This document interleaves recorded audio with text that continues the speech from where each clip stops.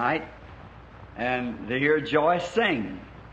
Did you know it's that's a miracle in itself? That little girl, how can she think of all that? And each night she has us a new one. How she can think of all that. That's a, really a little mastermind. The Lord bless that child. Now tomorrow at two thirty, at the um, funeral home in Charlestown, Indiana, our dear departed sister, Sister Calvin, we give her the last respects to her at the at the funeral home and at the grave tomorrow afternoon. One who once lived as you are tonight and's passed beyond the veil where you will sometime. And all who wish to attend this service, why, is welcome to come. It'll certainly be a great help to the Calvin family to know that the tabernacle here where they have all went to church for so long and so forth will we'd be glad to have you come up. And I think the, our dear brother McKinney, the one who preached my brother's funeral many years ago, as the main part of the funeral, and I've been asked to come and help him and uh, in the funeral services. Now, I was just a little late tonight. Uh, got so many irons in the fire, I don't know which way to go. There's so many calls and these wrecks and accidents and people calling, coming. To just left Louisville a few moments ago to get back here quickly and leaving several calls that's real strenuous and sh- must be made, I guess, yet tonight. And now, pray for us as we go along. And this morning, I, I never did get to my my text to the seventh chapter of the book of of, of Hebrews. And while we're turning to it tonight, I want to make the announcement about Brother Graham Snelling's meeting up at the tent up here at the end of Brigham Avenue. The Lord willing, I want to be back Wednesday night. And there we'll set a certain night that we're going to go up as a delegation this week sometime to visit Brother Graham in the meeting. And he's uh, says having a nice crowd and and he'll appreciate us coming for this help. Brother Graham Snelling, any of you attending the meeting or wish to, it's just at the end of Brigham Avenue up here. Anyone can tell you where it's at, right at the end of the playgrounds, the tent setting. And he appreciates your cooperation because we as a tabernacle have pledged our cooperation with him 100%. So we're trying to help. Now, then soon we're coming down to the place of, the Lord willing, to the 11th chapter of Hebrews in a few nights, if God willing. And there I think we're going to have a great time also. Oh, the Lord blessed us this morning in a marvelous way. Amen. How He did pour out His Spirit upon us. And now, tonight, we're expecting Him to do it again. Amen. And then Wednesday night and on, and, and the nights that I miss, Brother Neville will be here to pick it right up if I'm out. I never know what I'm going to do. You might be here at this hour, and another hour be called to California. See, you don't know just where the Lord will send. That's the reason it's hard for me to make itineraries and say we're, we're due so and so. I can start to do a certain thing, the Lord send me somewhere else, see? So we don't know just what He'll do. But if the Lord is willing, we said. Amen. I think we're commissioned, they're commanded that in the Bible. Amen. If the Lord is willing, Amen. we'll do so and so things. Right. So if we don't happen to make appointments that we, or fulfill appointments, we feel that maybe the Lord wasn't willing for it to happen. The other day we were detained. Brother Roberson and Brother Woods and myself, and we wondered why sitting there looking at a map, coming right down, and we drove 50 miles right straight back north again on a road. And I've been traveling on the highway since I was about 14 years old. And I wondered how I ever done it. We were standing there, all three of us, we've all traveled the highways, looking right at a map keeping on 130 coming through Illinois and made a little slight turn, not noticing that the sun was behind us instead of front of us, so he's going north instead of south. And first thing, no crossroad, I said, this ain't the right road. Looked down there and come to find out we were 50 miles out of the way, going right straight back. Then when we come back, we, we were talking, I said, you know why? We, the Lord might have bypassed us this way to keep from having a horrible accident down here somewhere that might have done something otherwise. We know that all things work together for good to them that love the Lord. That's all we have to keep on mind. Now, tonight we're starting now for a little teaching lesson, and if I, I don't think we'll get down, maybe we will tonight, to this is a great chapter of teaching on tithings to the church. And it's a great subject, which we could stay on it for weeks and weeks on that one thing, how Abraham paid tithes to Melchizedek. And whether it's essential. Is this fan hurting anybody back there? Would you rather have it off if it's hurting anybody blowing in their face? Any of the fans, if it is, just raise your hand. And, or just send one of the ushers, send someone up to the brother here, he'll snap it off for you. And I kind of keep it all for myself. I get hot, I get the sweating, and the first thing you know, I, I'm hoarse. So it's on you. So it won't bother me in any way.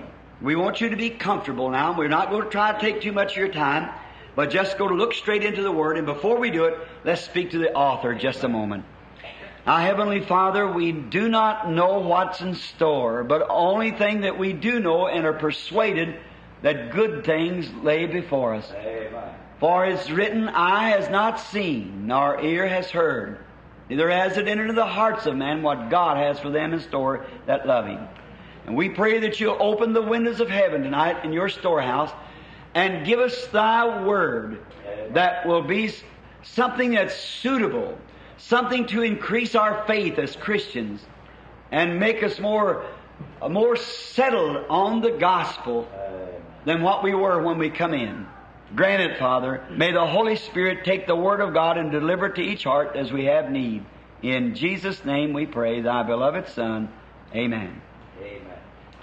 Now, this morning, in leaving the last verse for the sixth chapter, so we can go right into the seventh, where are the forerunner for us has entered, even Jesus made a high priest forever after the order of Melchizedek.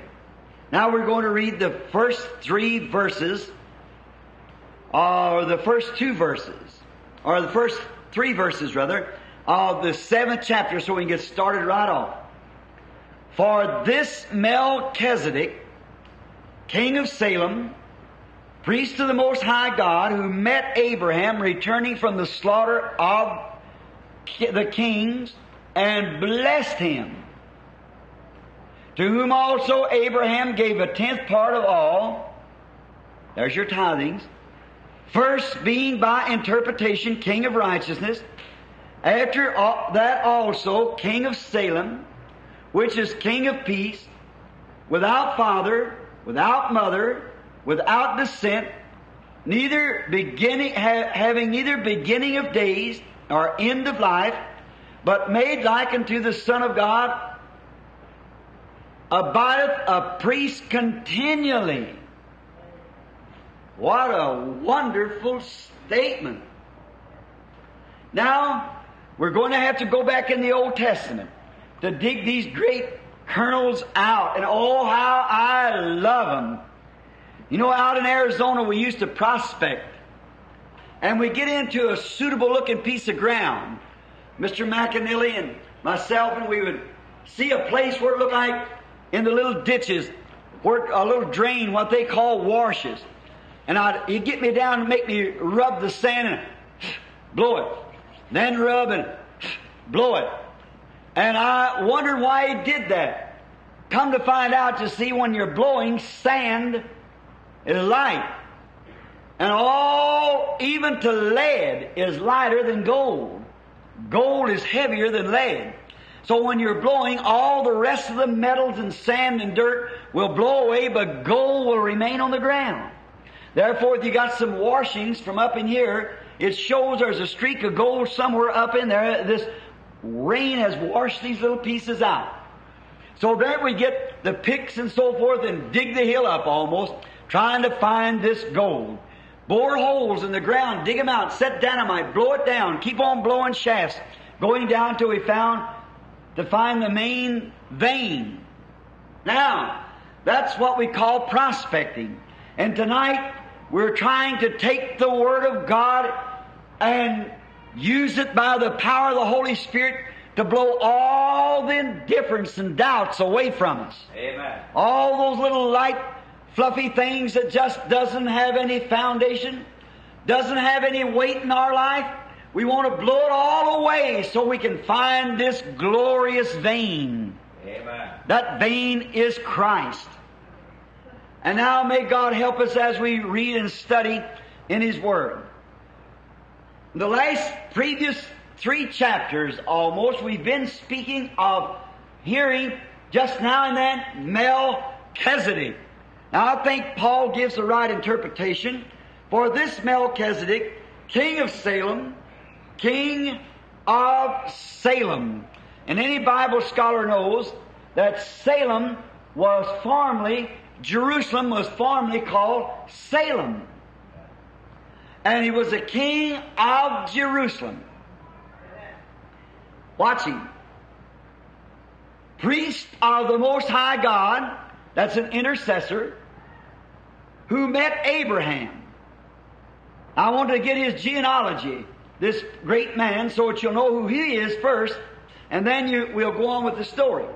Returning from the slaughter of the kings and blessed him, to whom Abraham gave a tenth part, first by interpretation, king of righteousness.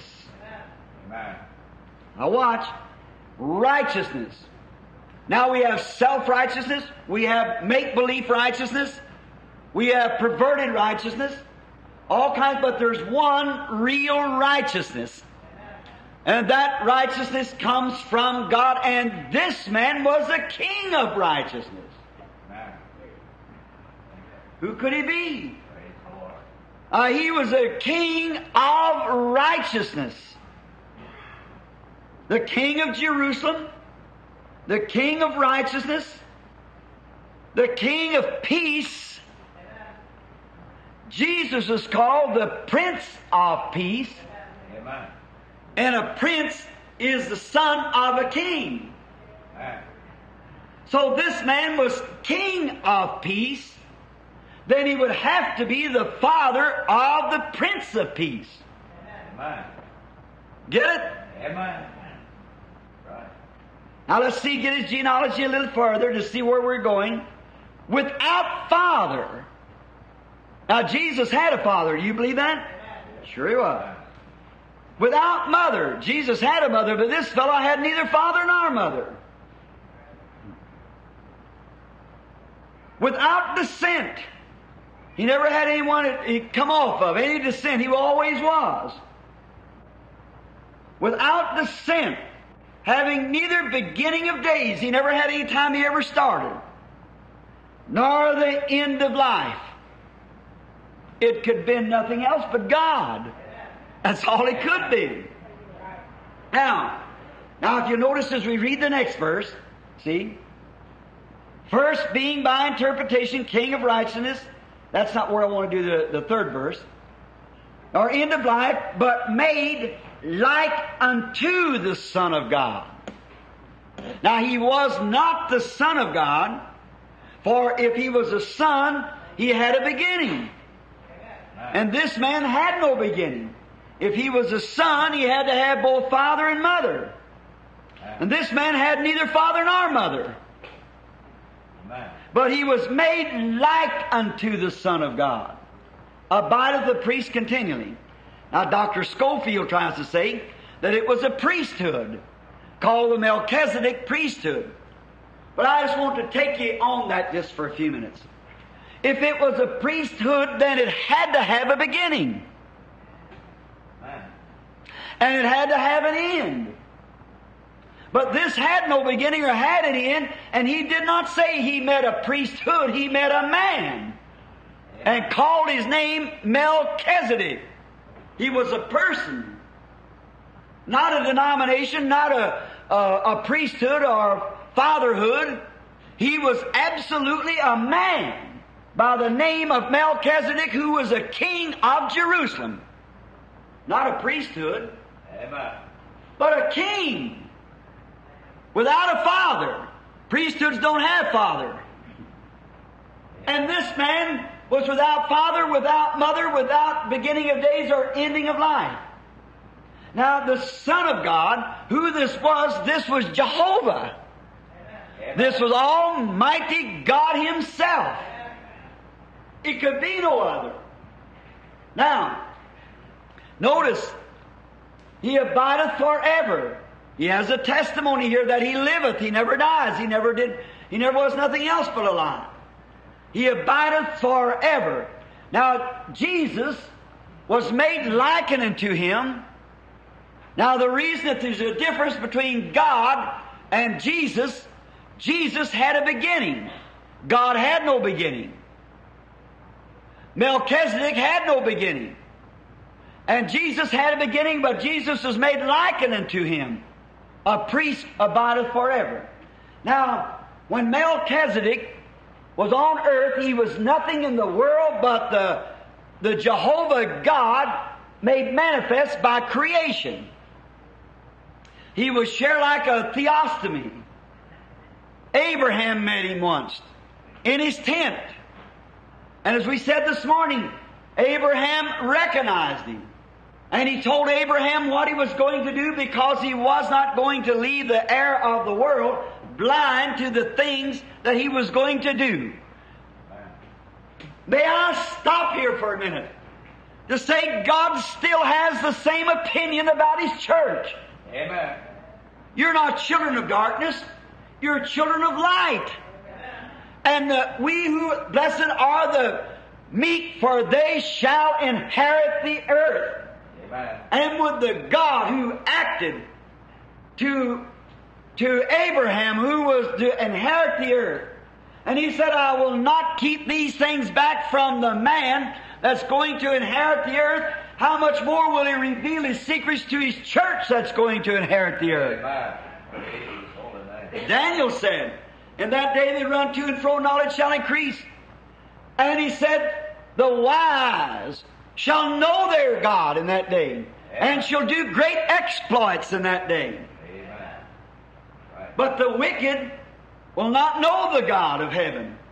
They know Him in a form and in a ritual, like our first lesson said, but they don't know Him by the way of perfection. Amen. And God can only work through perfection because He's perfect. Blessed be His name. Amen. It has to be a perfect channel that God works through. Because He can do nothing else but work to perfection. He can't stain Himself in any way. And then that's why Jesus came to take away our sins that we might be perfected, that God could work through His church. Amen. Oh. There's where the secret lays. Amen. There's where the world's blind. There's where they want to say that you've lost your mind. Amen. That's where they want to say you don't know what you're talking about. Because the things of the Lord is foolish to the wisdom of this world. But the things of the world is carnal to the believer. Amen. So you're a different person. You're living in a different sphere. You're not no more of this world. You've passed from this life into a new life. Amen. Therefore, God reveals not to the world, not to the psychologists, not to the educated ministers, but to the humble in heart, His people who is meek. He will reveal the secrets of the great things of God to them. Amen. You see it? Praise God. Now, now Abraham was to inherit the world. Through the Abraham seed was all nations to be blessed. So God came down and talked to him in the form of a man. Amen. Now God has always been on the earth. God has never left the earth. If he'd ever leave the earth, I don't know what would become of it. Uh, But God has always been here in some form. Oh, praise His name. He was with the children in the wilderness of coming out of Egypt in the form of a light. He spoke to Abraham in the form of a man. Amen. He spoke to Moses in the form of a man. Amen. He spoke to the church in the form of a man, his son Christ Jesus. Amen. And He's speaking to His church today through the anointed church of the living God. Amen. Through vessels of clay. Ye are the branches. I am the vine. Amen. God's still speaking. And the world sees Jesus as you present Him. That's how the world, sees. you are written epistles, read of all men. Your life tells what you are. Now, this Abraham on his road returning back, we're going to go back and read about him just a few moments in the book of Genesis. In the 14th chapter of Genesis, I believe it is. Oh, how beautiful the story is here. Now, we all know of Abraham, how that God called him out of the land of Chaldea in the city of Ur and told him to separate himself from his associates.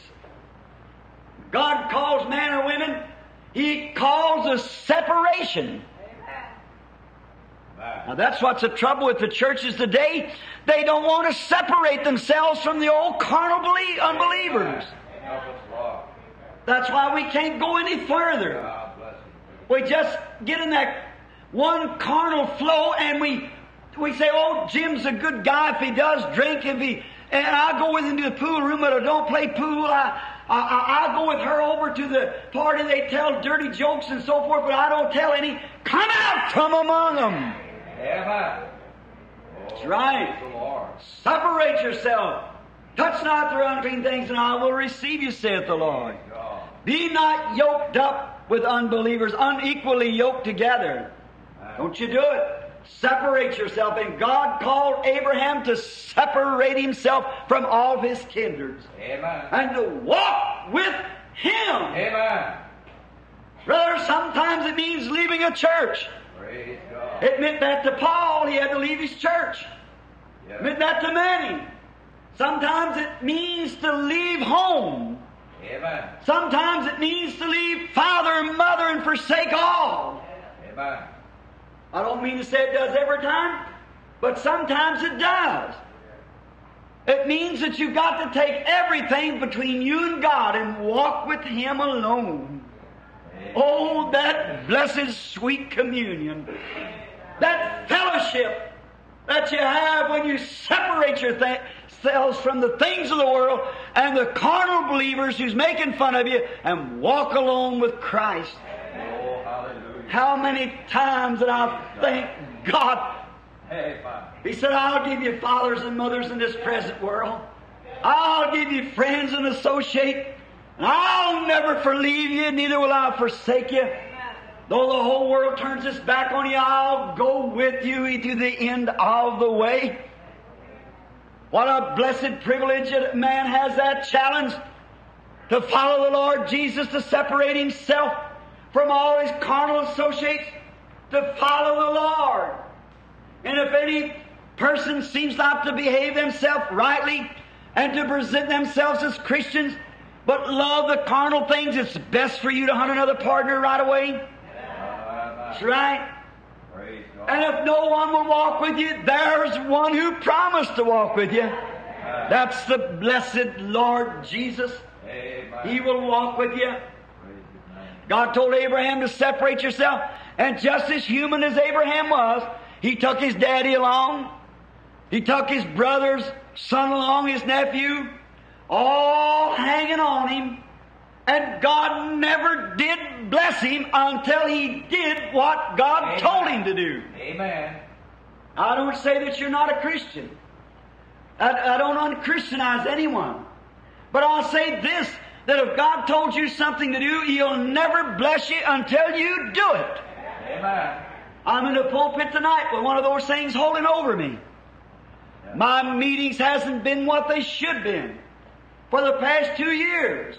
It's because I failed the Lord. Uh, he told me to go to Africa and then to India. Here it is written right here in the back of this book right now. And the manager called me and said, let them Africans go. India's ready. The Holy Spirit met me and said, you'll go to Africa like I told you to. And another year passed, and the managers, I forgot about it. And he said, We're going to India. Tickets is already here. I started off, forgot it till I got to Lisbon. One night that I thought I was dying. The next morning I started to go over to the bathroom to take a bath. Oh, I was so sick I could hardly stand up. There that light hanging in the bathroom said, I thought I told you to go to Africa first. My meetings has been slowly failing since that time. Though I went to India with nearly a half a million standing there, but that wasn't doing what God said to do. And I feel that my meetings will never be a success until I go right straight back and make that thing right. No matter what I do, it's Africa first, cause you've got to do it. There lays God's eternal word laying there. I knew better than that. But I've got to go back. And I feel that this coming here is the time I'll crawl out of the shell by the help of the. Lord. This glorious old gospel who's been growing easy like an oak tree, but I believe she's about ready to spread forth her branches now. I believe it. This great message and great thing, I believe that the Lord let us shake the world again Amen. for the glory of God. Amen. You've got to do what God told you to do. And Abraham went right on, took his folks with him. He loved them, that's the human part. But after a while, by and by, his father died and he buried him. Then he had his nephew, and then quarrels and arguments come up. And finally, Lot took his choice and went down into Sodom. And you notice Abraham? He didn't fuss with Lot. He said, We are brethren. We must not argue. But you lift up your head and you go any way you want to go. If you go east, I'll go west. If you go north, I'll go south. That's the Christian attitude. Amen. Be willing to give the other man the best of the deal. Amen. Always. Present it to him. Let him take his choice. For why? Amen. What made Abraham do it? He knew that he was promised by God that he'd inherit the whole thing anyhow. Amen. Amen. So then a tent or a cottage, why should we care? The whole thing belongs to us. Amen. Blessed are the meek, for they shall inherit the earth. God. It all belongs to us. God said so. So give the man the best of the choice if he wants to. Maybe that's all he'll ever get. But it all belongs to you. The heirs of salvation by promise. It's all yours. Amen. So Sarah, the most beautiful woman in the land, she sat up there on the hillside with her husband like she should have done. She plain, might have wore plain calico dresses, or what you want to call it, while Miss Lot dressed up like a millionaire and her husband was the mayor of the city. He was a judge that sat in the gate. She had everything and attended all the sewing circles and card parties that there was went on in Sodom and Gomorrah. But Sarah was more pleased to live with her husband on meager fare and know that she was in the will of God Amen. and to enjoy the riches of, or the pleasure of riches for a season. That's right. Amen. That's when God visit. One day, you just as sure as you take the wrong road, it's going to catch up with you someday. You might think you get all right. You might think you're getting by, but you're not. It Amen. may seem like it's all covered over, but it isn't covered over. God knows everything. Amen. He knows whether you really mean your confession or not. He knows whether you really mean that you believe Him and are saved and accepted Him and you are dead to the things of the world and you're alive in Christ. He knows that. Now, we notice Abraham. I want you to notice this real spirit. Oh, the whole blessed thing here is grace. I want you to read with me now from the 14th chapter of Exodus. Just a moment. Now, the first thing taking place, when they got down there, Lot got in trouble. Why? He was out of the will of God. Amen. And if you're getting trouble when you're in the will of God, God will help you out. But if you're in trouble out of the will of God, there's only one thing to do get back in the will of God again. Amen. Now, the kings all drew themselves together and they figured that the plains down there was well watered and they'd just go down and take this little old Sodom and Gomorrah and take it over. And they did. And when they went out and took it over, they took Lot with them. I want you to notice the Spirit of Christ here in Abraham. Now notice the 14th verse. And when Abraham heard that his brother, get it? His brother was taken captive, he armed his trained servants, born in his own house, 318, and pursued them unto Dan. Oh, what a blessed thought of grace. Abraham, when his brother, though fallen from grace, though was in this backslidden condition, when he heard that the world had caught him up and had captured him and took him away to slaughter him, Abraham acted by the Spirit of Christ. He came and armed all his men that was born in his house and took after them and pursued them all the way to Dan. And Dan is the uttermost parts of Palestine. Dan to Beersheba, from one end to the other. And it's a type of Christ when he saw that the world had took the fallen, that he pursued the enemy to the end Amen. to receive back the fallen race of Adam. I want you to notice the next verse, how sweet your the Spirit speaks to him. All right, the 15th verse now. And he brought back all, all the goods, and also brought again his brother Lot and his goods, and the women also, and the people. When Abraham took after the enemy that had took his brother, he pursued him all the way across the nation to Dan and brought back everything that he lost in the fall. Amen. What a beautiful Praise picture of. Christ who heard from heaven that we were lost and came and pursued the enemy all the way to hell Amen. and captured the lost souls and brought us back and restored us to everything that we had before the fall. Amen. We backsliders, we that was born to be sons of God, that's converted into the sons of the devil, and made that went after the things of the world and done wrong and run greedily like Lot did, selling out our birthrights and going after the things of the world. Christ came down, though fallen, God knowing in the beginning who would be saved and who would not.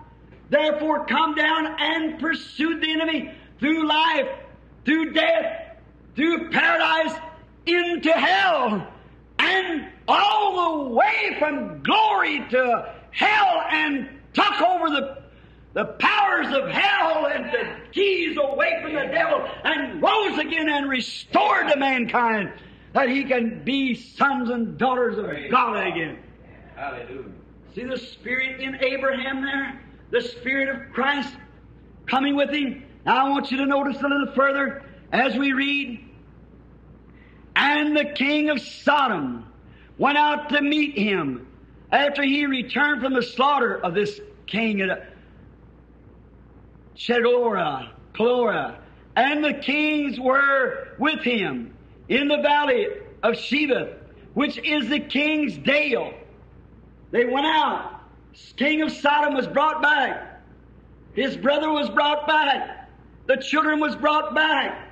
And here went out the kings to meet him. And also, here's where I want to get to the message now. Watch here. And and Melchizedek, king of Salem, king of Jerusalem, king of peace, brought forth bread and wine and he was a priest of the Most High God. And he blessed him and said, Blessed be Abraham of the Most High God, possessor of heavens and earth. Melchizedek, the king of Salem, also represented himself among the other kings. And notice, The battle was over. The Spirit of God in Abraham, of Christ, that had brought back his fallen brother, then restored him back to his rightful condition, to all that he had lost. He had brought it back. And when he did, he brought out bread and wine.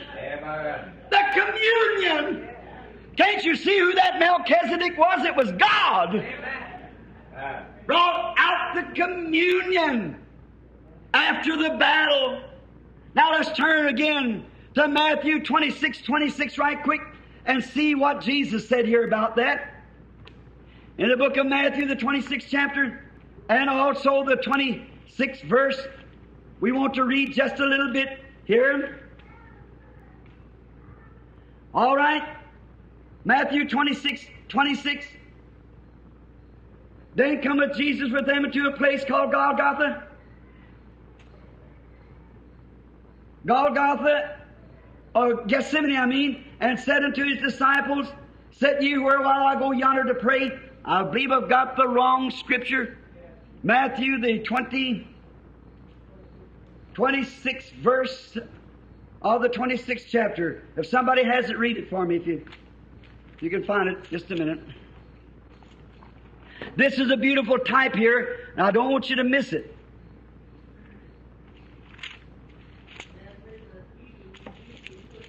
Here we are. That's got it, sister.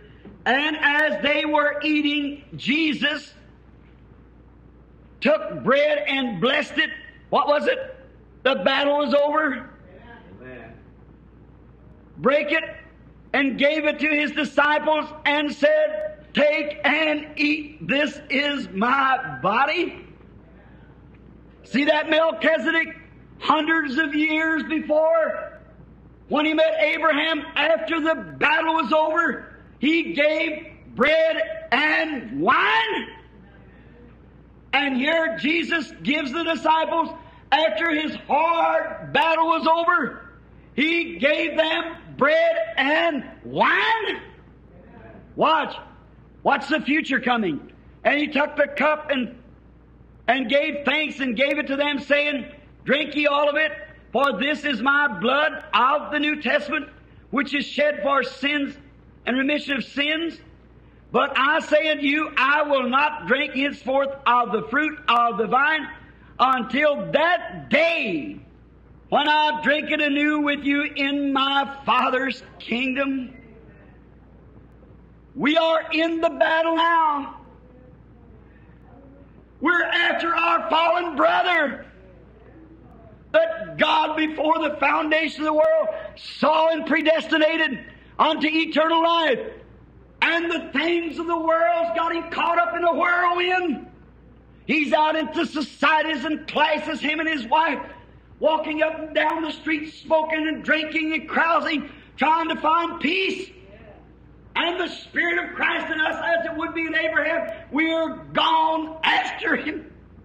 With all the armors of God, the angels of God encamped about, we're gone to bring back our fallen brother. Amen. And when the battle is finally ended, we will meet Melchizedek again. Amen. Bless God who blessed Abraham there and gave him the blessing and give him bread and wine, the communion. And when the battle's over, we'll meet him. We who are the heirs of the promise of Abraham, joint heirs with Christ in the kingdom, shall meet him at the end of the road and take bread and wine again. When the battle's over, who is this Melchizedek? The one that had no father, had no mother, had no beginning of days or the ending of life. He'll be there to give the communion again. Amen. You get it? Praise the Lord. When we pull up on certain nights, when we come together and take communion from the hands of the ministers, representing that we believe in the death, burial, and resurrection of the Lord Jesus, that that veil, his body, that he was unveiled in God, we take it as a representative. We're dead to the things of the world and been born anew of the Spirit. And we walk with the body of Christ, all the believers together. When the great battle is finished and we come up again with Christ, we'll take the communion with Him in the kingdom of God anew and eat the flesh and drink the blood of the grape again in the kingdom of God. Oh, there's Melchizedek. That's who he was. Now let's read just a little further about him here. And the 18th verse. And Melchizedek, king of Salem, brought forth bread and wine. You get it? And he was the priest of the Most High God, and he blessed him, and says, Blessed be Abraham of the Most High God, possessor of heavens and earth, and he blessed him, and he blessed, and blessed be the Most High God, which has delivered thine enemies into thy hand, and he gave him a tenth of all. He paid tithes to Melchizedek. Abraham give him a tenth of the spoils. Now I want you to notice here, as Paul goes on, giving a background for the coming lesson now. And the king of Sodom said unto Abraham, Give me the persons and take thou the goods to thyself. Now the king of Sodom said, Now you just give me back my subjects and you take the goods to yourself. And Abraham said to the king of Sodom, I have lifted up my hand unto the Lord, the Most High God, Elohim, the possessor of heavens and earth there. Most High God, the possessor of heavens and earth, that I will not take from a thread even to a shoe latch. Amen. He didn't have a great campaign to take up money. He only wanted his fallen brother. Amen. And that I will not take anything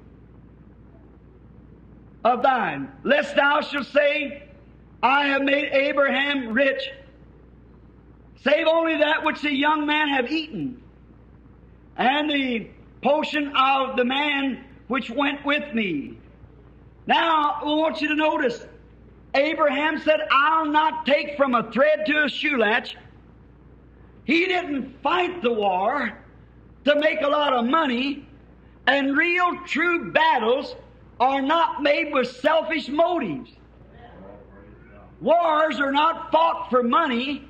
Wars are fought for, for motives, for principles. Man fight war uh, for principles. And when Abraham went out to get Lot, he didn't go out because he knew he could whip the kings and take all their possession. He went out for the principle of saving his brother. Amen.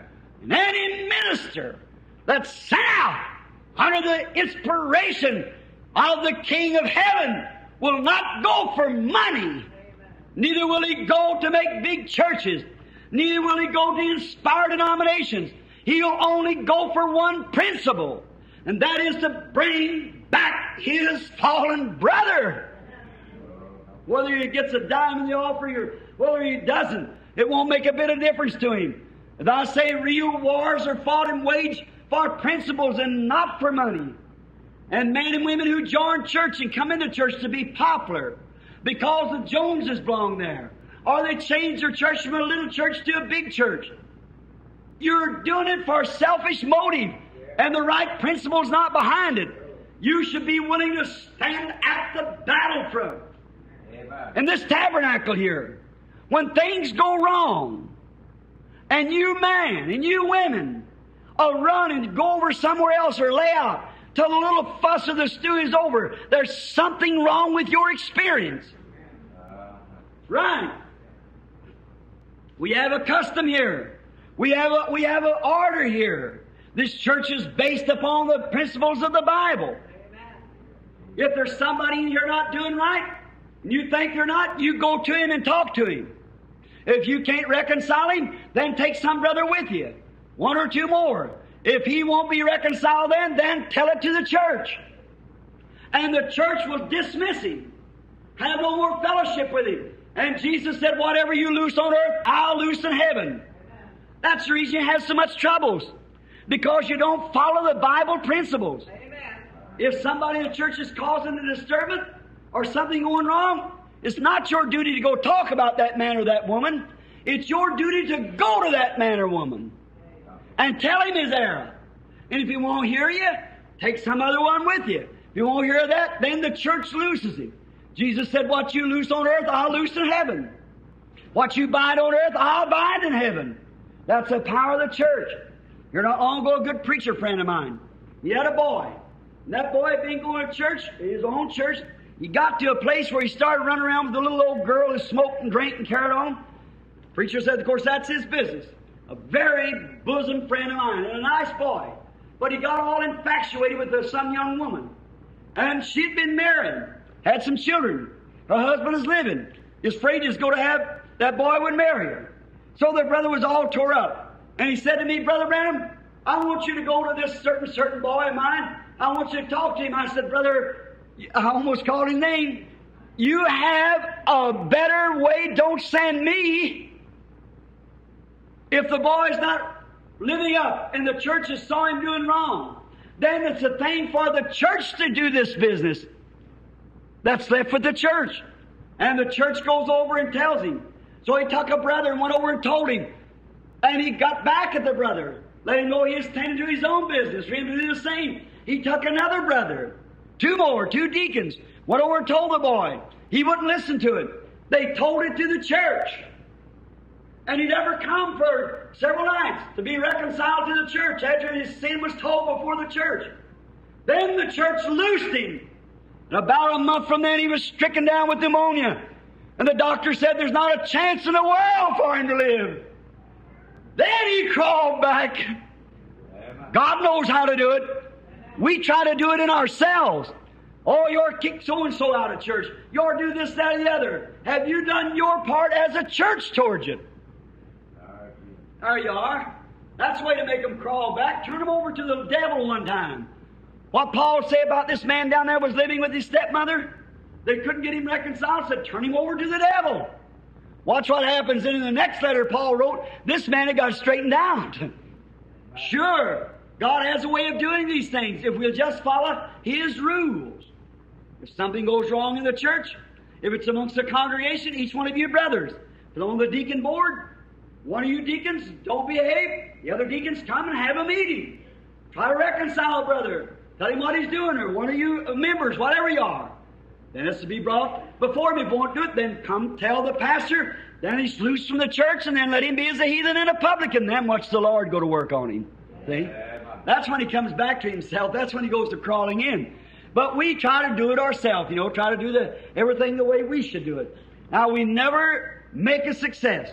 Now, this Melchizedek, the king of Salem, prince, priest of the Most High, met Abraham and blessed him and gave him this tithings. Abraham did, and he was the king of Salem, and he brought out bread and wine, the communion, and gave it to Abraham after the battle, after the man had been won over. Now, all wars, as I say, are fought for principles. Now, if you have a little war in church, it must be the right principle. You must be fighting for the right thing.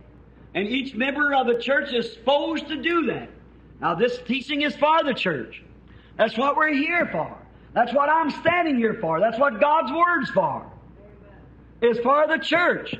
Don't never let nothing hinder this church. If it does, you're guilty. Each one of you. And you and your different churches, if something's going wrong in your church, you're guilty because you're the overseer of that church. It ain't up to the pastor.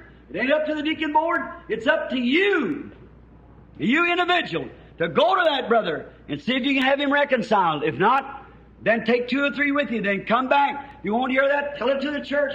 Then he's dismissed from the kingdom of God. God said, if you dismiss him there, I'll dismiss him here. If you went through this order, then he'll turn the devil loose to him for the construction, destruction of his flesh, and then he'll come back. That's right. That's the way to make him come back. If he's a child of God, he will come back. If he isn't, well, well he'll go on. And then the devil will send him on to his eternal place. Now, the motives of it. If you just get it in for somebody, then that's different.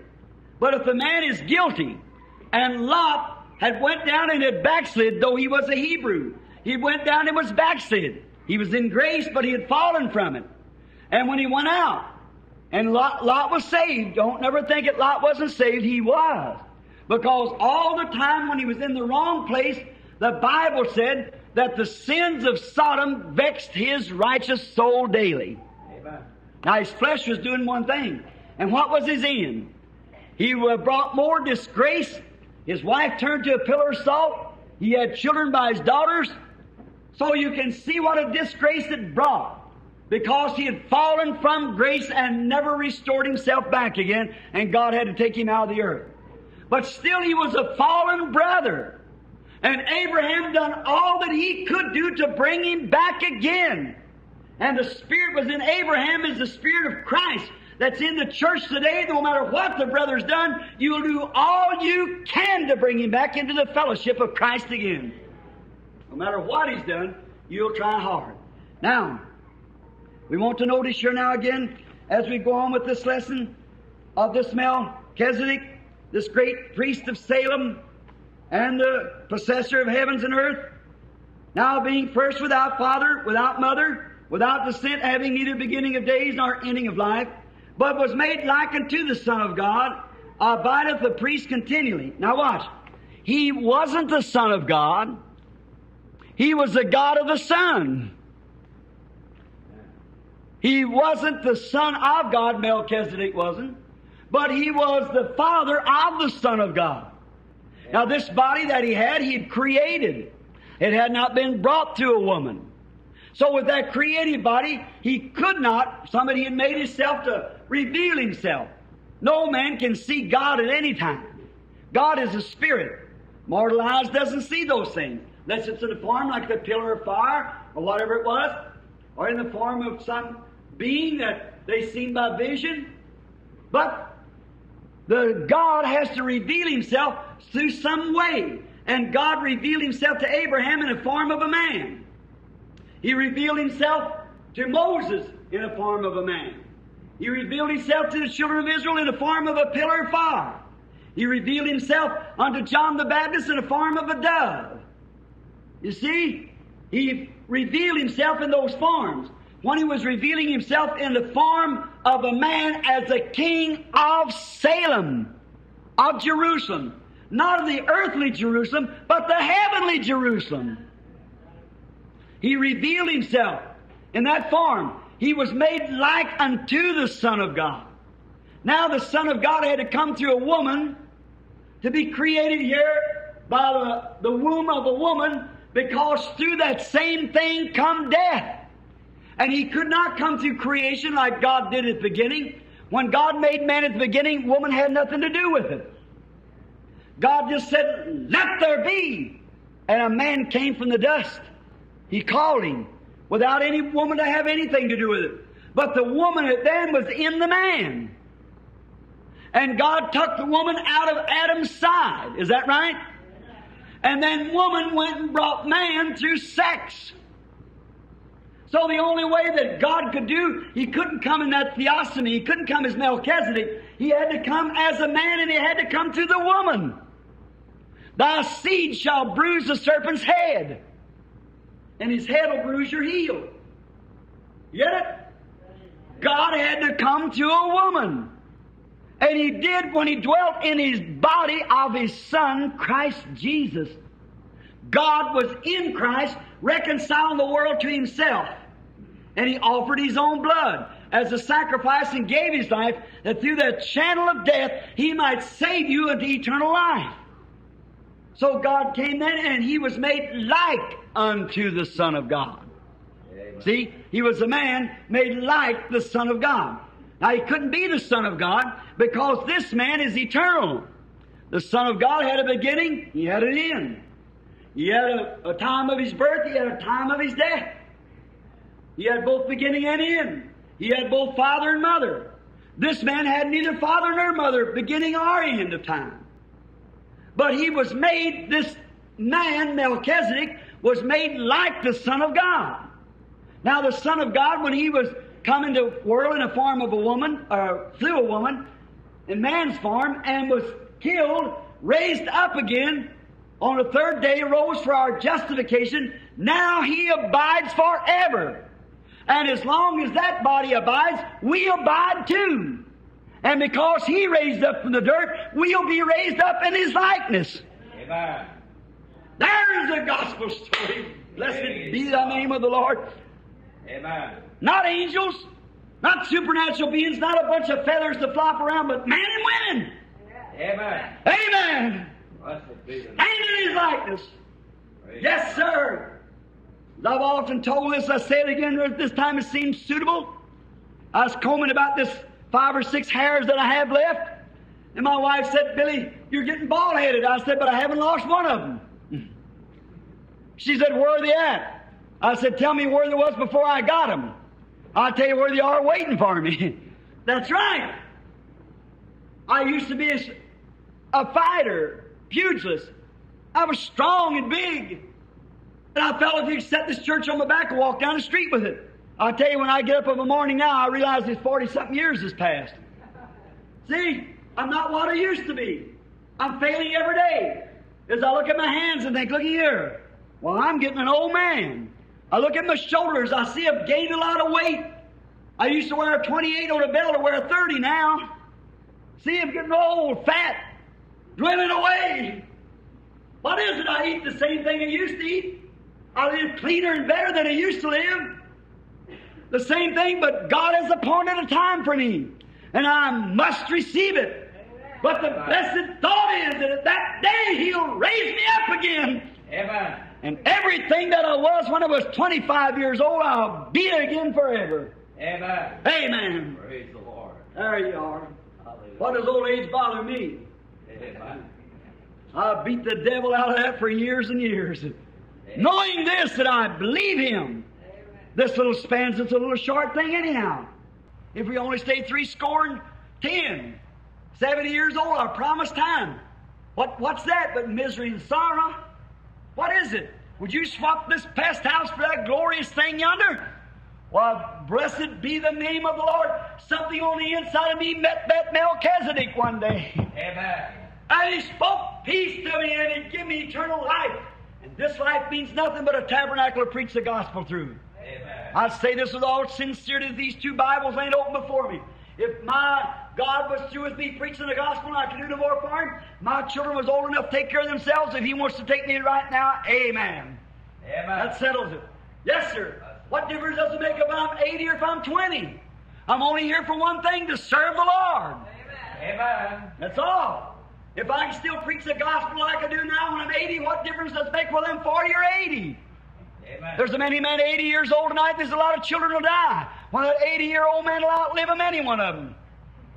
What difference does it make? It's your motives, your principles. And we're here to serve the Lord Jesus. That's all, knowing this that this life is a vapor that a man speaks about, that once was and then is not. But if we have eternal life, God's promised He'll raise us up again and we'll take the communion with Him when the days are over and we say, enter into the joys of the Lord that's been prepared for you Amen. since the foundation of the world. Then what difference does it make here whether we have anything or whether we don't? Amen. Whether we're young or whether we're old? Amen. What difference does it make? Blessed be God. The main thing, are you ready to meet Him? Amen. Do you love Him? Can you serve Him? Amen. Have you sold out to the things of the world? Amen. Have you met Melchizedek? Amen. Since the battle was over, bless God, about 21 Amen. years old I was, and one day I had a battle with this, that, and the other. I couldn't make out whether I want to be a fighter, whether I want to be a trapper or a hunter, what I want to be, but I met Melchizedek. Amen. And he gave me communion, and since then it was Amen. settled forever. Praise God. Hallelujah. I went on his side. I've been rejoicing on the road. And when it comes to the end of the road and death stares me in the face, the way I feel now, I'll never dread it. I walk, want to walk into the face of it knowing this, that I know him who's made the promise. Amen. That's right, that I know him in the power of his resurrection. When he calls from among the dead, I'll come out from among them. Amen. That's right, knowing him in the power of his resurrection. What difference does it make whether I'm old or whether I'm young? Whether I'm little or whether I'm big? Amen. Whether I'm full or whether I'm hungry? Whether I got a place laid down or whether I haven't? The birds has a Amen. nest and the fox has dens, but the Son of Man has not a place to lay his head. But he was the King of glory. Amen. Thank God. We're kings and priests tonight. What difference does it make whether we have or whether we haven't? As long as we got God, we are more than conquerors. We are more than conquerors. We sit in the presence of God, in the fellowship of the Holy Spirit, Amen. taking spiritual communion from the hands of Him that testified. I was He that was dead and alive again, and I'm alive forevermore. Amen. Sitting together in heavenly places in Christ Jesus. Amen. Oh, blessed be His holy name. What difference does it make? A tenor cottage, why should I care? Amen. They're building a palace for me over there. Of rubies and diamonds and Amen. silver and gold. His Hallelujah. coffers are full. He has riches untold.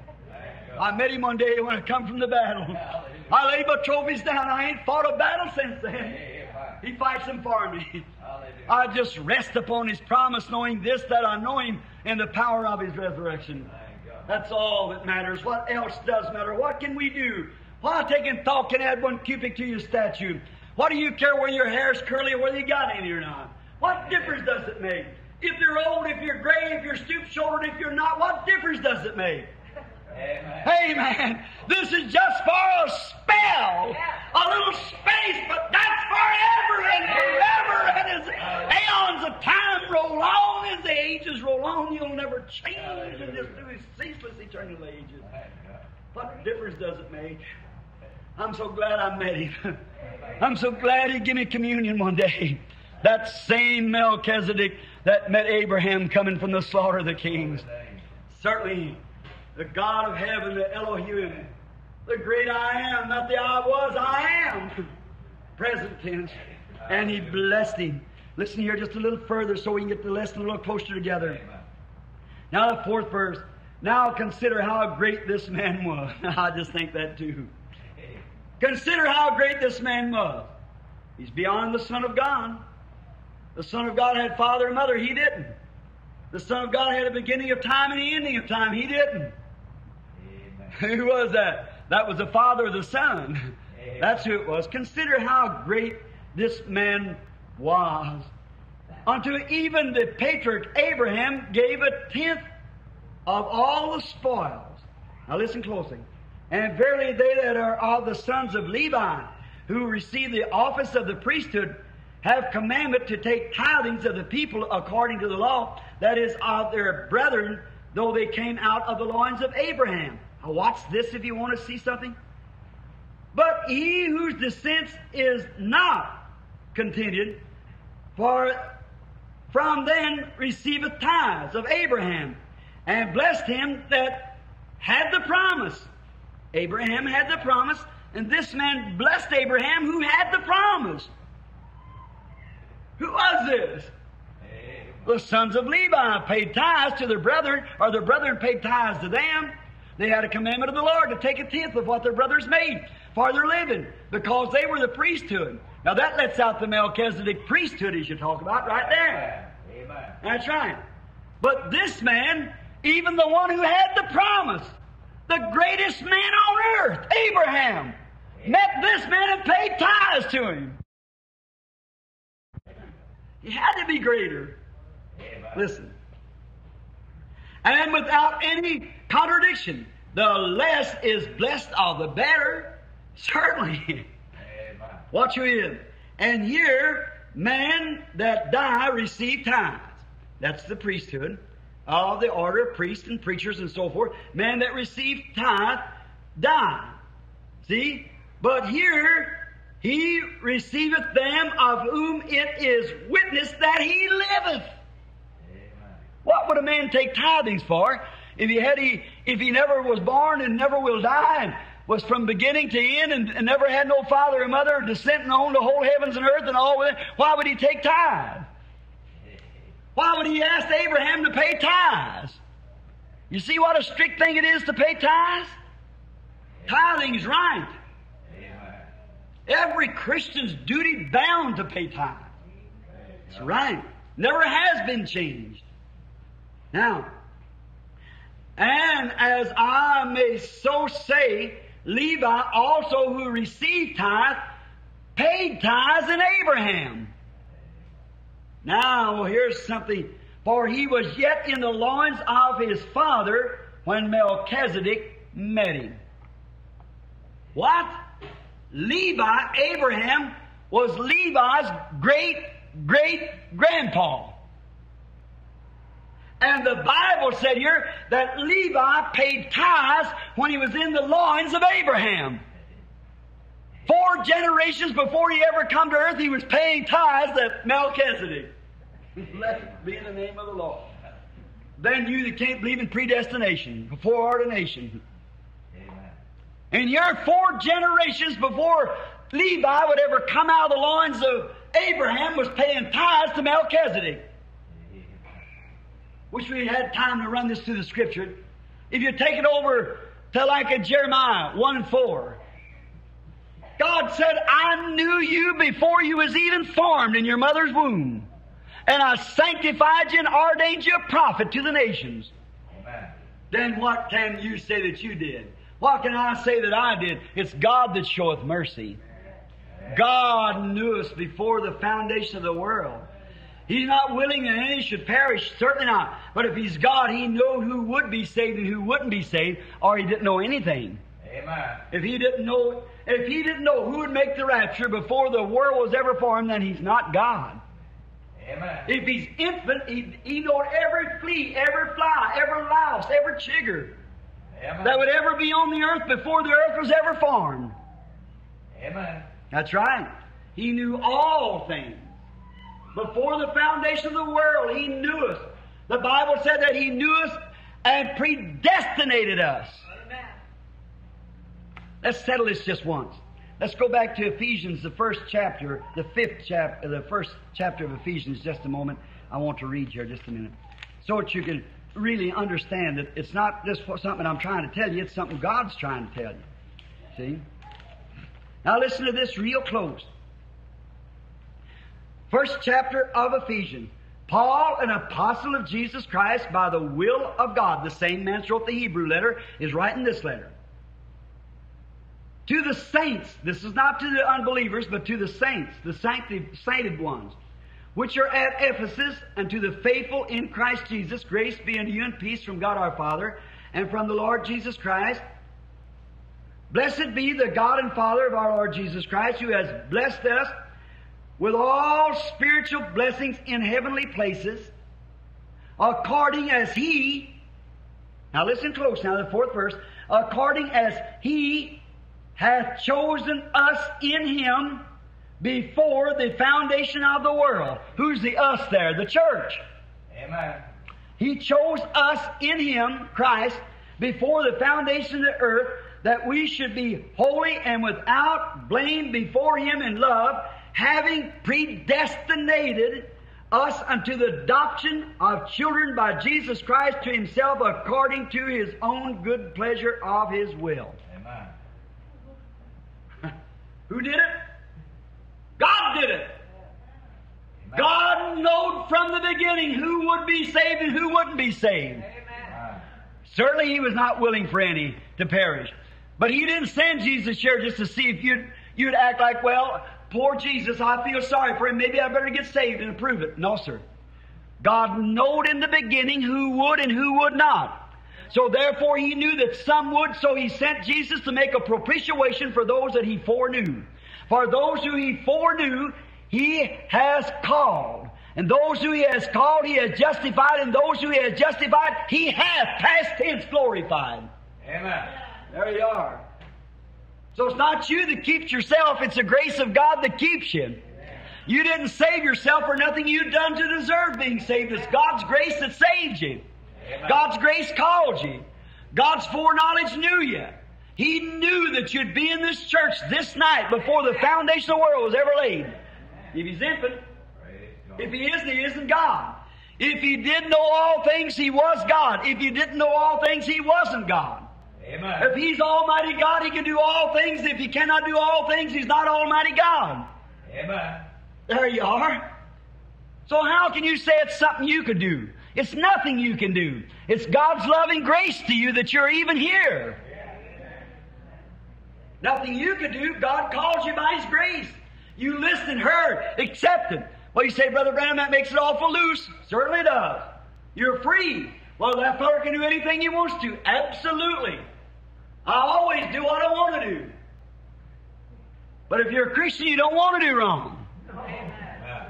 There's a little old girl sitting back there tonight, my wife. I love her with all that's in me. And if I know that I could run around with another woman and get by with it and go tell her and say, Meda, I did wrong. Do you think I'd do it? If I love her right, I won't do it. That's right. Now, what if I say, oh, I can't do it because I tell you why. She divorced me and I got, oh, I'm a preacher. See what they do? that? take me out of the pulpit and she divorced me, divorced me, and oh, I got three children. I couldn't think of that. But boy, I, well, if that's the way it is, you're still legal.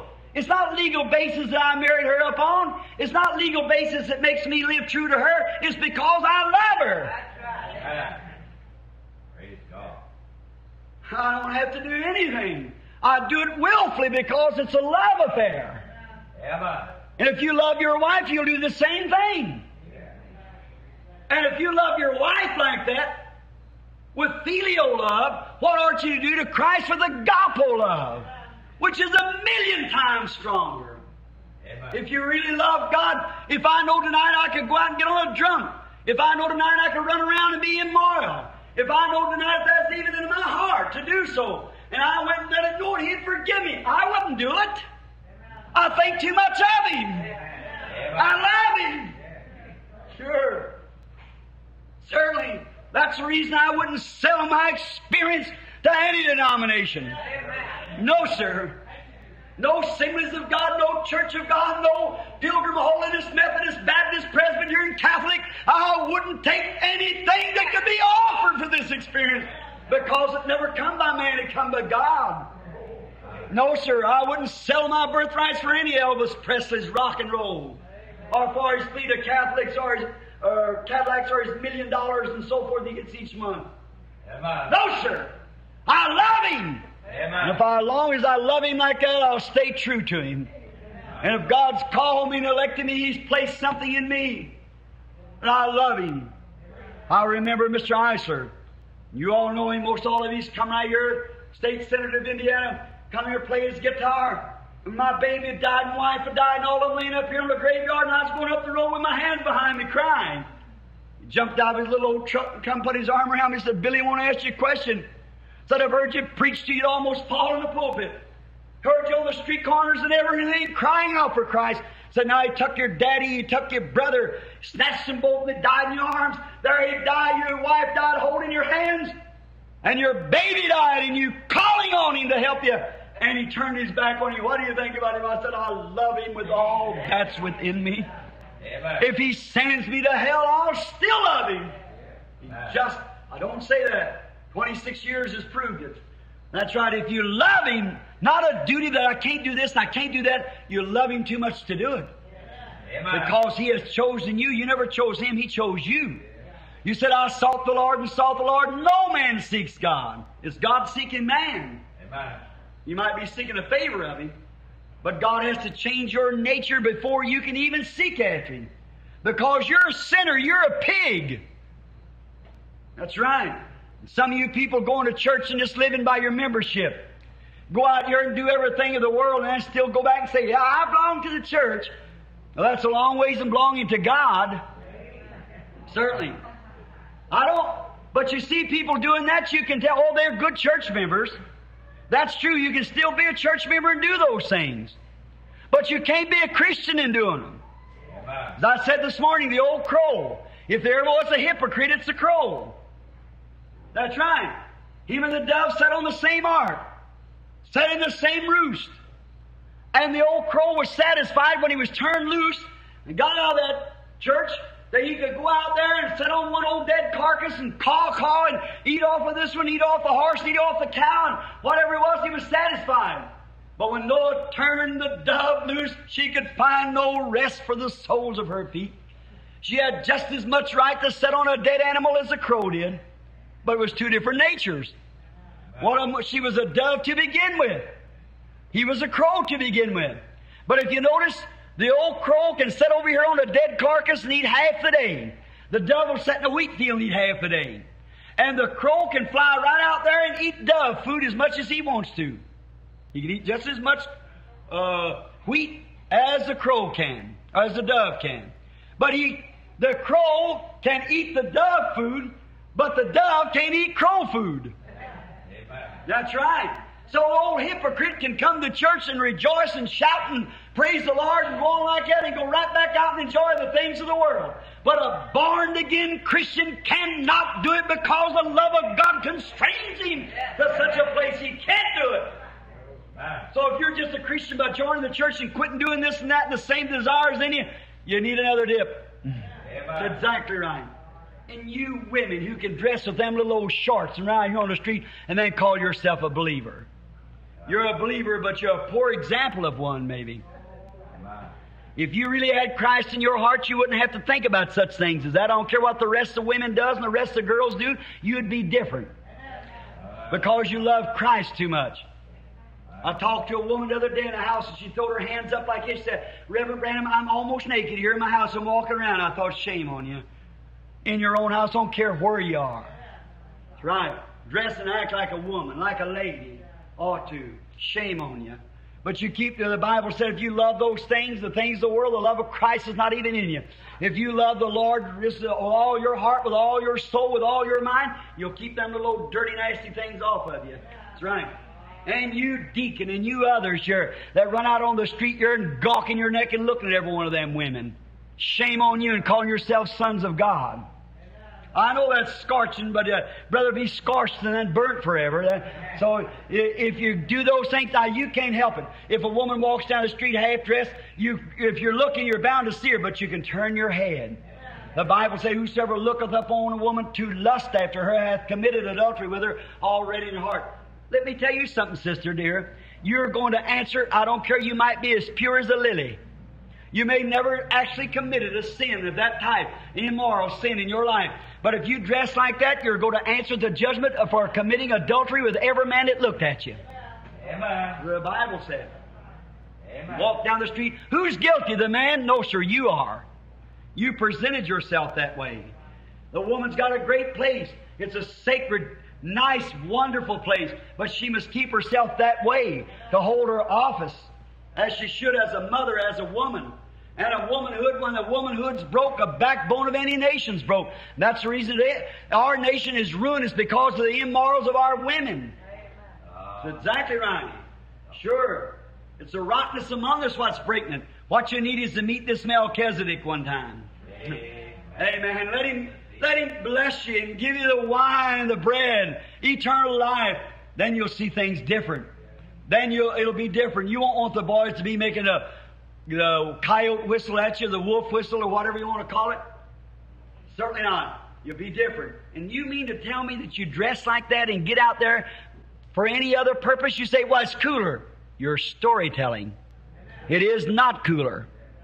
Science proves that it's not cooler. It's a, it's a lust that's come up on you, sister. You don't realize it. I'm not trying to hurt you, but I'm trying to warn you. A many a moral woman, just as clean as she can be, a nice little lady, walk out with them things on the street, unconscious of knowing what she's doing. Because some backslidden preacher is afraid your husband won't pay his tithes in the church anymore. If he'd ever met Melchizedek, he wouldn't think those things. He'd preach the gospel if it scorched the hide off their back. He'd preach it anyhow. That's exactly right. You do it, and you do it because of the spirit of lust that's up. And you, man, that'll let your wives do those kind of things, I've got little hopes of you as a man. That's right. That's right. Now, there's no compliments on that because there's no apology because that's true. Any man that'll let his wife get out on the street and act like that, brother, you ought to be wearing her clothes. That's right. You, why, my, I don't say my wife won't do it, but I have to be changed and perverted to what I am now if I ever live with her while she's doing it. And that's exactly right. My girls, they may do it. When they get to be women, I don't say they won't. I don't know. That's up the mercy of God. I hope they don't. If they do, they'll walk over the prayers of a righteous father. Amen. They'll walk over the life of somebody who tries to live right, if they ever do it. That's right. Oh, I want to live right, teach right, be right, and instruct them right. If they do that, they'll beat their way to hell over the top of my preaching, over the top of my Christ, and over the top of my warnings. That's right, if they ever do it. Certainly, that's right. Shame on you. If you ever meet Christ face to face and He blesses you and puts that kiss of approval on your heart, all devils in hell will never make you put them on again. That's right. You've changed from death unto life. And your affections are set on things above and not on the things of the earth. Amen. I better leave that subject. It's ticklish. All right. But it's the truth. All right, as we go on now, just a little further, and then we're closing. Verily, they that are of the sons of Levi receive tithe of the office of the priesthood, and have a commandment to take tithe of the people according to the law, that is of their brethren, though they came out of the loins of Abraham. But he whose descent is not counted from them that received tithes of Abraham, and blessed of him that had the promise. And with all contradictions, the less is blessed of the better. And here man that die receive tithes, but here he receiveth them of whom it is witness that he liveth. And I, and as I may say, Levi also received tithe, received tithes, paid tithes in Abraham, for he was yet in the loins of his father when Melchizedek met him. Your, your attitude towards Christ will make a great impression on what your children will be. Your life that you live before your family will make an impression on what your children will be. Because the Bible said that He'd visit the iniquity of the parents upon the children to the third and fourth generations. Now, just a few moments before closing. And therefore, if perfection, there's your perfection again, were by the Levitical priesthood, for under it the people received the law, what farther need that there come another priest should rise after the order of Melchizedek and not be called after the order of Aaron, the law, the legalist. See? Oh, you have to do this. If you don't do this, you're not a Christian. If you don't keep the Sabbath, if you don't, if you eat meat, if you do these things, all these legal ideas, and you've got to go to church. If you don't, you pay a penalty for it. You have to do a novena. That stuff is nonsense. You're saved by the grace of God, by the foreknowledge of God, by His predestination. God called Abraham by predestination, by foreknowledge. He called, he hated Esau and loved Jacob before either one was born. That's right. It's, it's God's foreknowledge that knows these things. You say then, what's use of preaching the gospel? Now I'll say to you this. Paul answered that, or Jesus did rather. Here's Jesus. He said, the kingdom of heaven is likened to a man that went to this a, a pond or a lake and threw it in a net. He pulled in. Out of there he had turtles, he had terrapins, he had serpents, he had lizards, he had frogs, he had spiders, he had scavengers, he had he had fish. Now the man's just saying That's like the gospel. Here it is now, I'm preaching the gospel. I just throw the net out. I pull it. I say, all that will, whosoever, let him come. Here comes some at the altar, they all hang around the altar, they pray, they cry. I don't know one from the other, it's not my business, I wasn't sent to judge. But there's some in there that's frogs. There's some that's lizards. There's some that's snakes, it's some that's turtles, and there's some that's fish. It's not my business to judge. I say, Father, here's what I pulled out. But the frog was a frog to begin with. The spider, the old spider will sit there and look around a little while, wall them big eyes, look around and say, you know what? I just about got as much of this as I can stand. Plop, plop, plop, plop. Out they go. Old lady serpent will raise her head up and say, well, you know what? If they go to preach like that against wearing shorts and things, that takes me, so I'll get away with that bunch of holy rollers. That's all it was to You was a snake to start with. That's exactly right. Yeah. And here sits old Mr. Toad Frog with that great big cigar in his mouth like a dehorned Texas steer. I'll stand there and look around and say, Well, and everybody condemn me this smoke. I'll just get out of this thing right now. Well, you old frog, you was that to begin with. That's exactly right. That's exactly right. Your nature proves what you are. Your life shows, reflects what you are. And in the beginning, it's not hard for me to see that. It's not hard for you to see it. If I went out to Roy Slaughter's, a farmer sitting here, and I saw the pigs out on manure pile eating manure, I wouldn't think nothing bad about that. He's a pig. But if I saw a lamb up on that manure pile, I'd wonder. see? Don't worry, you won't see him there. He just couldn't stand it. That's right. And a man that's born of the Spirit of God hates the things of the world. That's right. For if you love the world or the things of the world, the love of God's not even in you. Amen. If I run around with women every day and come and tell my wife I loved her, she'd know I was a liar. My actions would speak louder than my words. Certainly. I proved to her I didn't love her because it wasn't true to her. She told me she loved me, and every time I'd be gone, she'd take over somebody else. It would prove that she didn't love me. Right. Her actions proved. I don't care how much she'd try to tell me, Bill, I love you, and there's no one else in the world but you. I know she's a liar. And when you try to say, Lord, I love you, and doing the things of the world, God knows you're a liar to begin with. So why, what's the use accepting old halfway experience and something like that when the great skies of heaven are full of the real thing? Why do you want to be a miserable, professed, halfway, half-baked, so-called Christian when you can be a real born-again child of God with the joy bells of heaven ringing in your heart, rejoicing and praising God and living a life of victory through Jesus Christ? Not trying to do it yourself because you have failed to begin with, but take Him at His word and rest upon what He said was the truth. And believe Him and love Him, and He'll make everything work right and right for you. That's it. That's the idea. The Lord bless you. Don't want to scold you. But, brother, it's best to get a little scolding. You're my young'uns, you see? And any papa that loves his kids will certainly correct him if he's not the right kind of a papa. Is that right? That's right. And this papa only has one rule, and that's the rule of the home. And God only has one rule, and that's His Word. If we believe His Word, then we live by His Word. It's our duty. If we've ever met God, not because you say, well, I go to church and I've got to do this. You're miserable. Don't do that. Why do you want to be a miserable, decrepit, ungodly crow for? When you can be a dove.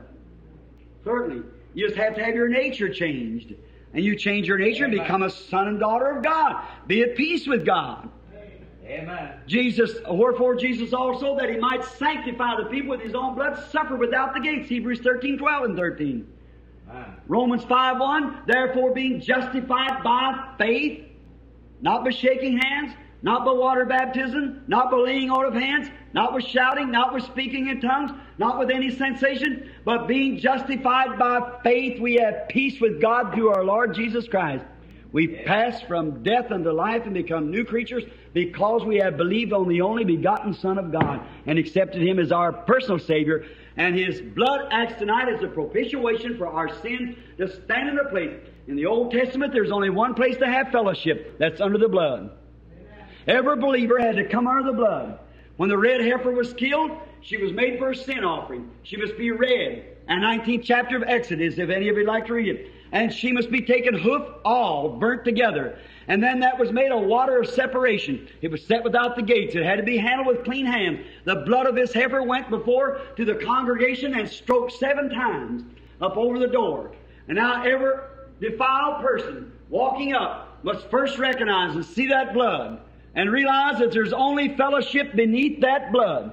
That's the only place the worshiper could actually worship officially was under the blood. Then the first thing he had to do before he could come under the blood, there had to be this water of separation sprinkled up on him. And the uncleanness was made clean. And to took the water of separation and sprinkle it up on the wayfaring man and separate him from his sins. And then he walked under these seven stripes of blood and had fellowship with the rest of the believers in the presence of God.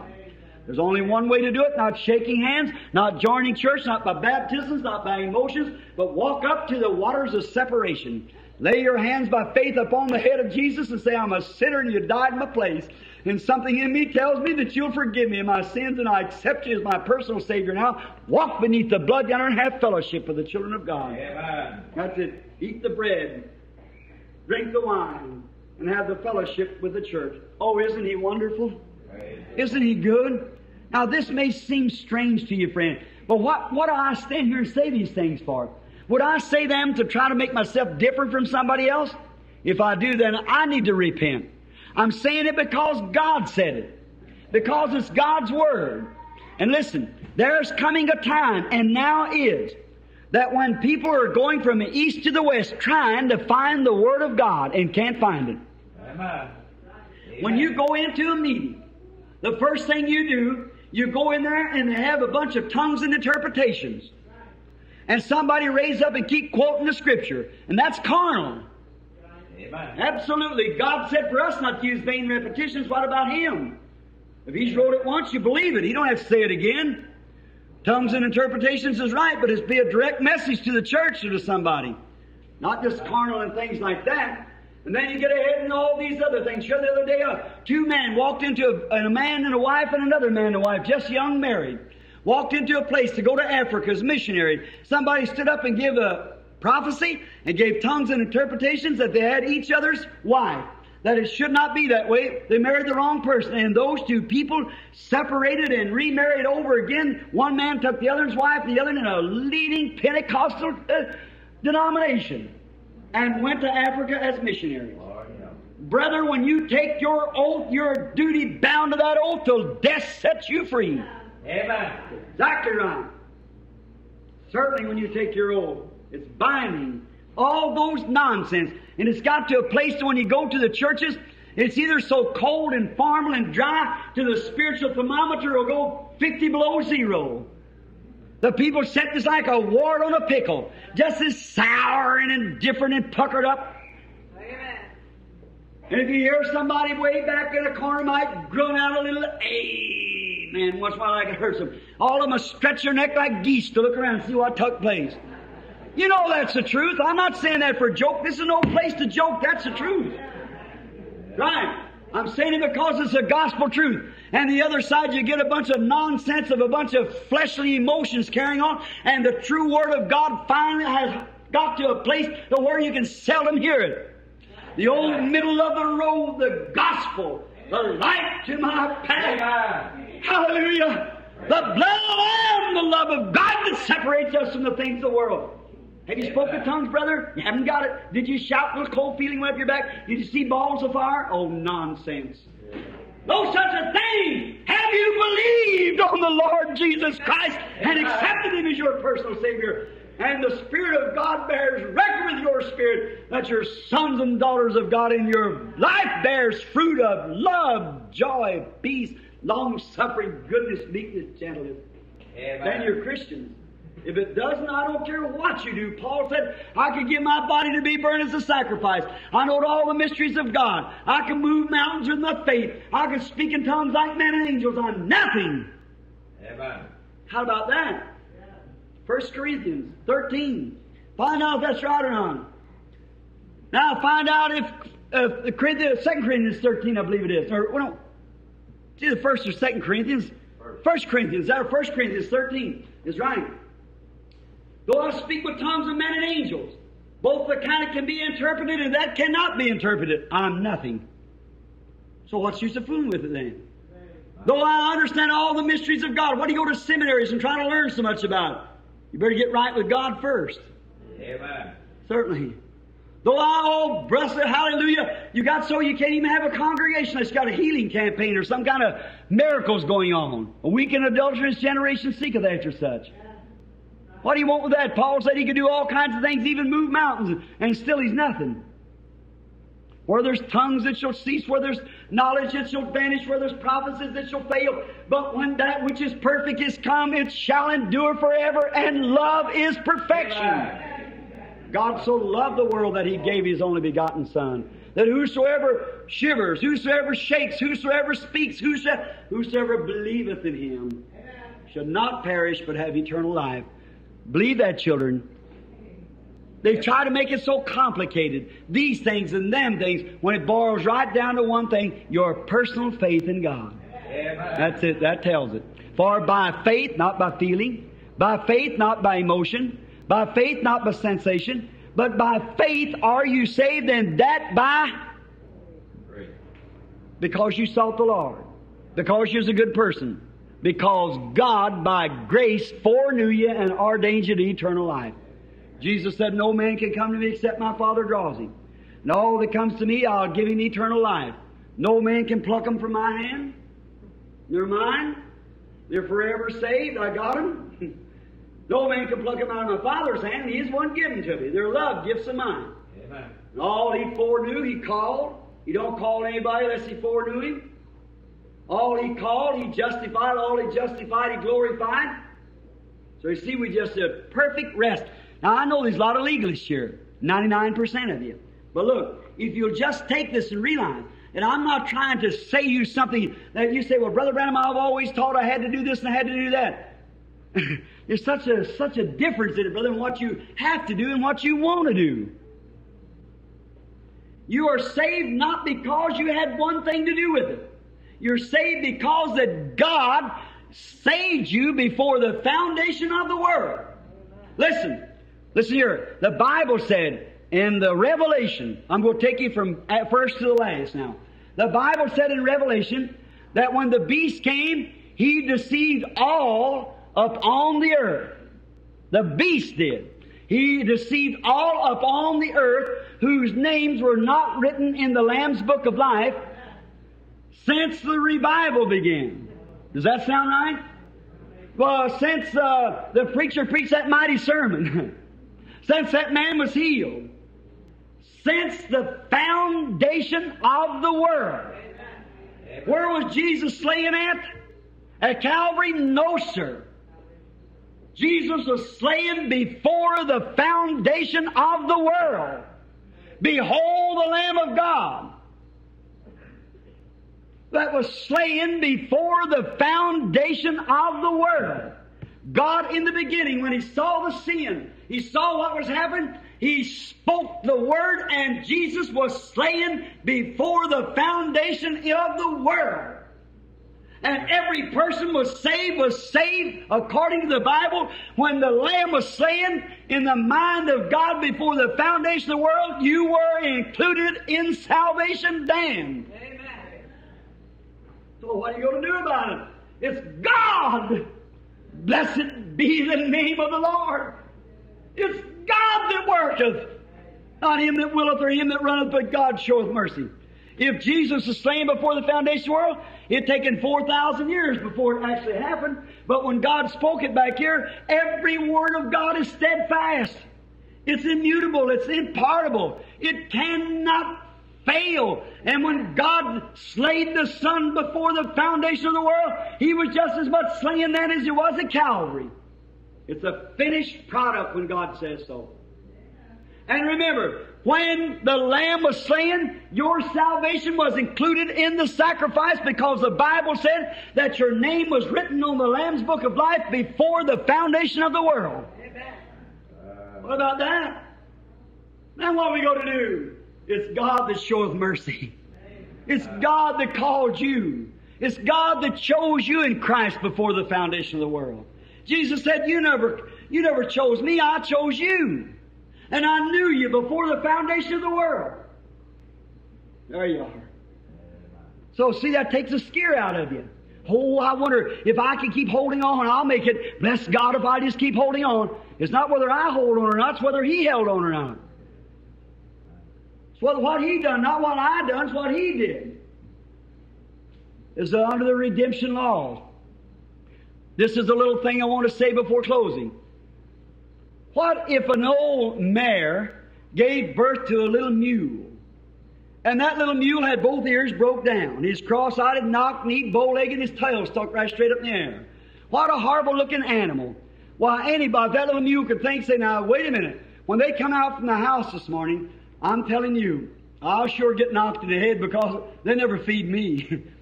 Look what a horrible-looking thing I am. I haven't even got a chance. Oh, that's right. You haven't got a chance. Well, I was born in this world, but look here, what a horrible looking thing I am.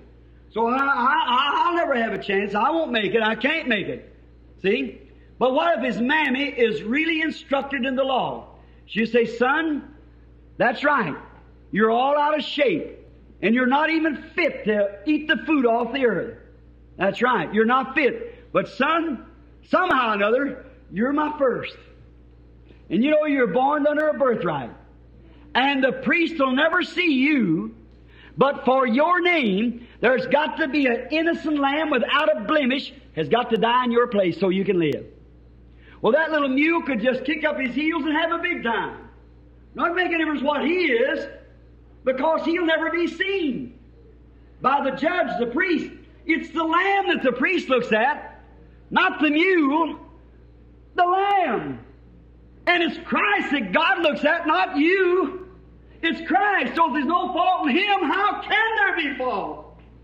How can He find fault? When you're dead your life is hidden in Christ through God, sealed by the Holy Ghost. They that are born of God does not commit sin, for he cannot sin. How can he sin when a perfect sacrifice is laying in his place? God never looks at me, he looks at Christ, because we're in Christ. Now, if I love Christ, I live with him. He never brought me in unless he knows. If God saved me today knowing he's going to lose me six weeks from today, he's defeating his own purpose. Right. He don't even know the future then. If he saved me knowing what he wants to save me for and what he's going to lose me. God doesn't do things and then take it back in two weeks to keep his promise. When he saves you, it's for time and eternity. Now you can be worked up and say, oh yes, bless God, hallelujah, I spoke a tongue, I shouted, I got her, hallelujah. That don't mean you got it. But brother, when something come down here and you anchor with Christ, then the fruits of the Spirit follow you. We bear a record, our spirit with His spirit, that we're sons and daughters of God. Please have that, friends. I'll keep you here all night talking about that. I love it. I love you. I come back to this little tabernacle time after time. If God shall spare my life, I want to see you rooted and grounded in that holy faith. I don't want to see you tossed about by every little wind of doctrine come by and shake and carry on and have a little blood in their hands or a little frost on their face or something other than seeing some kind of a lights before them and some kind of uh, selfish thing, as the Bible said, puffed up in his heart and seen nothing. That's right. I want you to be solid on the Word. If it's thus saith the Lord, stay with it. Live with it. That's the Urim Thummim of this day. God wants you to live by that. If it's not in the Word, then forget about it. Live for God. Live for Christ. And if your heart begins to stray around, you know there's something that's happened. Go back to the altar and say, Christ, renew my, the joy of my salvation. Give unto me that love that I once had. It's leaking out, Lord. There's something I've done. Make me holy again. Stand, oh Lord. Nothing I can do. I can't quit this and quit that. I'm looking to you to take it out of me, Lord. And I love you and walk away from that altar a new person in Christ Jesus. Amen. Then you won't have to depend on your church, depend on your priest, depend on your pastor. You're depending on the shed blood of the Lord Jesus. By grace are you saved. Let us pray. Lord, such strong teachings. It's time this little church could take meat and no more the milk of the Word. We've been too much in the milk now, giving the baby his bottle. But we got to have strong meats for the day is getting close. Great peerless times are at hand. And more trouble laying in the road. We know that there'll never be better times. We know that we're at the end. Times will continue to get worse and worse until Jesus comes, according to the Scriptures. We cannot promise them nothing in this life. But in the life to come, we can promise them eternal life through Thy Word. If they'll believe on the Son of God and accept Him as their propitiation, as the one who stood in their place, as the one who took their sins. Grant it now. May unbelievers become believers. May church professors here tonight who's professed religion and just living in the church, may they receive an experience with God that such love comes into their heart, that they weep for their sins, die out to themselves, and are born anew by the Holy Spirit, and being meek and kind and loving and full of joy and blessings. Living such a life that they're so salty that they make the people that's around them thirst to be like them. Grant it, Lord, for we asked it in His name and with our heads bowed. I wonder tonight if there would be one here to say, Brother Branham, if I was weighed in the balance of God at that time, I would never, never, never be able to meet that qualification you're speaking of tonight. I want you to remember me in prayer that I will change my ways and God will come in and take this nonsense out of me and make me a real Christian. Would you raise your hand for prayer if you would? God bless you. God bless you. God bless you.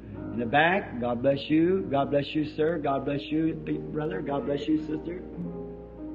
Holy, holy, holy, Lord God of hosts. harmful of thee. Heaven and earth are praising thee. Oh Lord, oh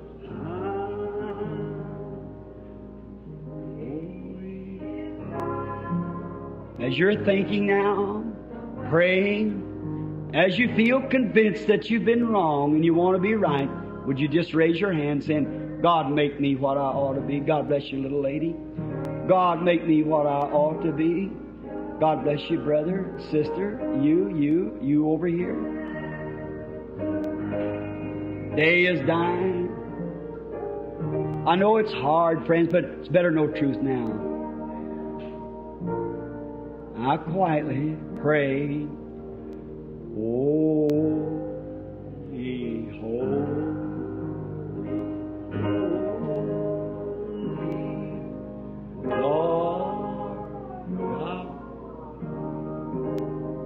He's holy alone.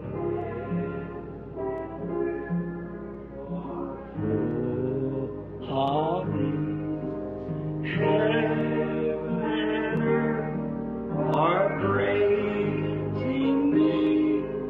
Oh, oh, Heavenly Father, as the sun sets in the evening, the robins gather in the trees with their loved ones. The birds all go to their nest. The doves fly up on the wires high so the snakes won't bother them through the night. They sit there and coo to each other till they go to sleep. The sun finally sets. Someday we're coming down to that hour. The sunsets go to happen. I don't know when, Lord. But there's people here tonight who's convinced that they've been wrong. They want to come to that place like Lincoln come to it as he was dying. They had turned my face towards the setting sun. And he started, Our Father who art in heaven.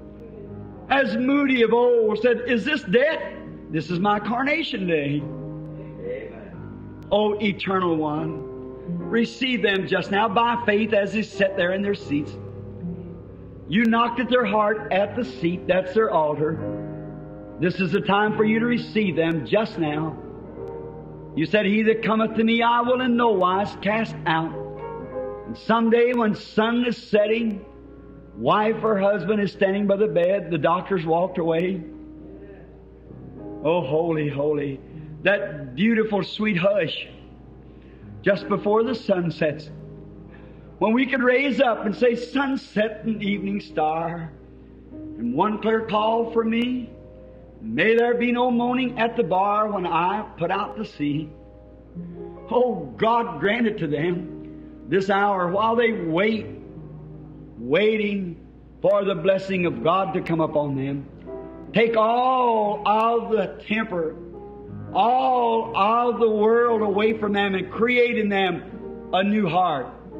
You said, I'll take the old heart away and put in a heart of flesh and I'll put my spirit in that heart. And they shall walk in my statutes and keep my commandments, because it's an ordinance of love and not of duty. It's of love. And love constrains us to do it. It's a duty of love to constrain us. It's our duty to follow love. And I pray, God, that you'll give it to every heart that raised their hand tonight. And those who did not raise their hand, May they now by grace raise their hands to accept you and to be filled with your spirit in this meek, sweet, quiet, humble way. Be full of grace. Go out of here as a changed person. How the birds will sing different, how everybody will be different after this hour. Oh Lord, most high. Holy, holy, holy, Lord God of earth.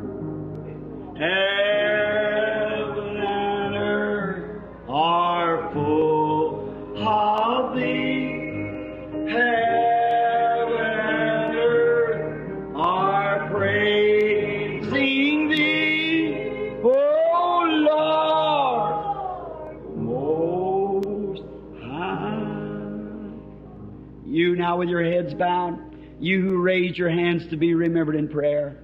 Do you feel like it? God has spoke to you in such a way now? Not by emotion, but just something way down in you. You feel like it? God has given you eternal life. You feel like you're going out of the church tonight as a different person? Would you raise your hands back tonight? God bless you, son. God bless you, brother. God bless you, sister. God bless you. That's right. I'll go from this church tonight a new person. Newborn babes in the kingdom of God. What happened? I know it's an order of coming to the altar. That's a Methodist altar. A Methodist order, I mean. It was established in the Methodist Church in the days of John Wesley. It never was in the Bible days. As many as believed was added to the church. You can believe wherever you are, out in the field, out on the street, anywhere.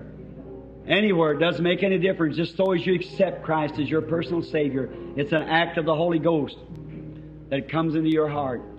When you believe Him accepting, you pass from death unto life and you become new creatures in Christ Jesus.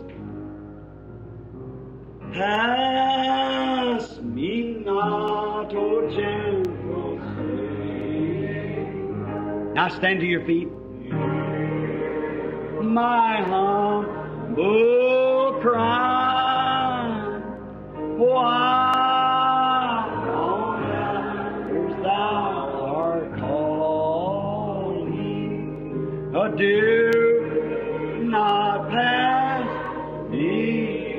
Now I want the young man and the lady which I perceive to be his wife it raised up your hand. I want you to raise your hand again back there. Some with the red coat on and the lady that they accepted Christ as their personal Savior. The young man sitting here in a wheelchair accepted Christ as his Savior, felt that God had saved him. And others back in there that raise your hands, raise them again so that people can look around, have fellowship with you. Shake your hand, somebody around standing near them. Say, God bless you. Welcome into the kingdom of God, my brother, my sister.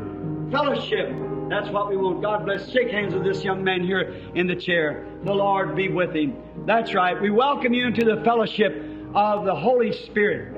If you have never been baptized as yet and would desire to be baptized, make your way up and tell the pastor about it.